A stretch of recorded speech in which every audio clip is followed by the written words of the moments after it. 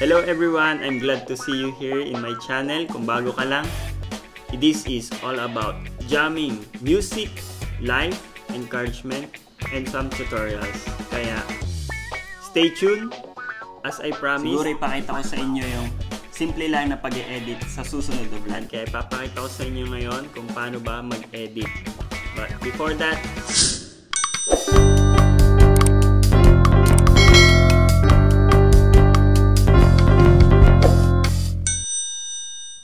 have 5 ways to start video editing for beginners. Una, video editing tutorials. Ito yung nakikita natin sa YouTube, malip natin sinesearch. Pangalawa, imitate others video. Kalimitan, merong iba na mga template, madadownload mo lang. Parang yung ginawa ko dati na 30th century. So, nag-download ako ng template noon via Vegas. Nalitan ko lang yung century ng happy birthday. Parang ganon for birthday kasi siya. And sa iMovie, meron siyang trailer. Nandun na yung mga template. Papalitan mo lang ng text, pictures, video. Yun. Pangatlo, develop your own skills. So, dito, self-learning, sariling sikap, pagka-download mo nung editor. So, check-check mo lang. Pang-apat, enroll to short courses. Ito nung before pandemic, madali ito punta lang sa mga uh, training center kung meron man. So physically punta ka doon. Panlima, convenient to online courses pero with money. At dahil nanonood ka nito, we will tackle video editing tutorials. This is very simple among others and free. Habang nagsisimula lang tayo, dun muna tayo sa free. Kaya stay tuned lang. Natutunan ko lang siya on my own, which is yung number 3. Pero nahirapan din talaga ako sa una kasi bago lang tong apps na to para sa akin. Kaya papakita ko lang sa inyo kung paano yung pinakasimple at kung paano ako nagsimulang mag-edit. Kuha lang muna ako ng kahit anong video or photo. Nagsimula lang ako mag-edit through phone nung nag-lockdown at one time kasama ko ang team Kapeling. Dito nagkakape kami and trinay ko lang mag time-lapse. At yon pinatungan ko lang siya ng music sa pinakasimple. So ngayon, gawin natin is kuhanin natin yung video at photos. I-separate natin, ilagay natin sa isang folder or sa isang album. Currently, ilalagay ko siya sa isang album.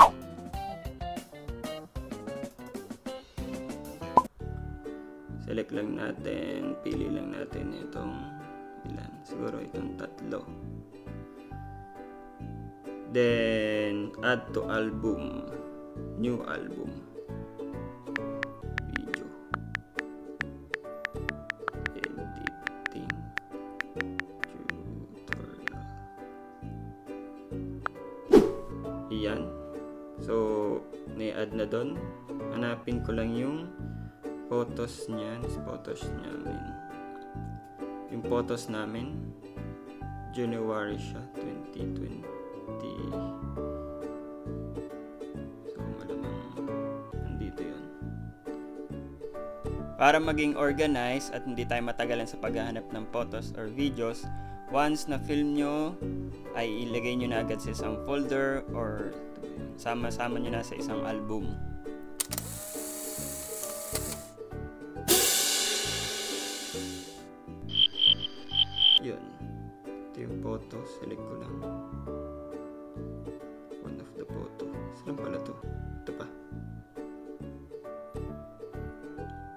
Ko lang siya sa album.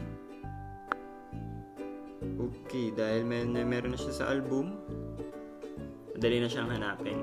So we will use InShot apps which is available siya sa Apple or Android phone. Nandiyan yung mga drafts ko na gawa that before. So create nyo lang tayo. Hanapin natin yung album. So, yung create kong album na video editing tutorials. Ito. Okay, may photos, may videos. So, select lang natin parehas. So, ayan. Again, kung nabilisan kayo from the start natin, open nyo lang yung InShot save natin to drops video new select natin yung album. Saan natin sinave? Video editing tutorials. Select natin yung ating video. Then okay yan na. After that uh, open natin yung music. Ito music. Then tracks. Then marami dito music. Open mo lang yan. And sa classic tayo ito yon so use ko to. Yan. Men meron siyang music. So dahil bitin siya dito lang. Duplicate ko lang. Madodoble na yung music na yun. Yan. Tapos di here cut ko lang. Split.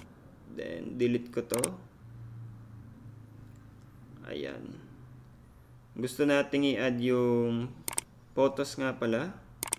Pwede yan bawat dito. In between sa photo yan. Add lang natin. Gusto nating ilipat dun sa isa. Yan sa huli. Yung isa sa gitna. Pass forward lang natin. Slide slide. Yan to pwede natin itong edit sa canvas. Tapos background. Yan para maging ganyan. O kaya pwede nating i-resize. So dito guys may inshot na lumabas. Cross lang natin yon. Remove these ones for free. So, yan. Tapos, yun, dahil humaba yung ating music, pwede natin siyang i-extend hanggang huli. Yan. Sakto pala. Tapos, ito, alam, lagyan natin ng background na ganun. So, okay. yun na. Tapos, save lang natin. Unloading. Napakabilis lang yan. This is a quick lang. Ayan, habang inaantay natin. Mabilis lang ang rendering. Mostly 1 minute or 2 minutes kahit mga 15 minutes na video. Basta wala pang 5 minutes tapos na agad.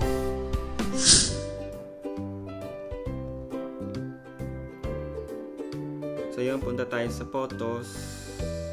Hanapin natin. Yan, ito siya. Ka ng video. Vlog. Kung may mga tanong kayo, please comment below at next video ay i-detail natin. Hmm. Meron ako dito yung dati kong ginawa. Yan, saan siya? Pinakauna pa. Ito yon.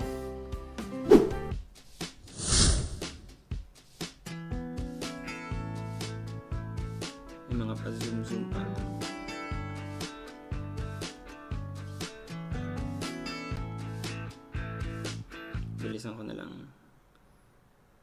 So yun lang is very simple. At sa part 2, tatakal ko ano ba yung mga dapat tandaan sa pag edit So sa ngayon kasi gusto ko lang ipakita at matry nyo yung very simple at kung paano ba talaga magsisimula mag-edit. So nung nagsisimula ako ganun-ganun lang pa time-lapse time-lapse papatungan ko lang siya and then ika-cut, split, then later on yun, natutunan ko na yung ibang mga effects or yung ibang mga features. Disclaimer lang po, di po ako professional video editor. Yun lang po ay base sa aking experience at kung paano ako nagsimula. At yun sa tingin ko ay pinakamadaling paraan. Talagang yun lang, time-lapse din, patong ng audio. Mga ilang beses ko po siyang ginagawa. Pa-post-post lang sa Facebook ng story. At minsan itinatama ko siya sa music, pa-edit-edit lang. So, huwag kayong magmadali guys. Tulad yung sinabi ko, big things starts small. Kaya, see you again sa part 2. And don't forget to like, subscribe, and share kung may natutunan kayo. At maraming salamat po sa inyong panonood. Bye-bye!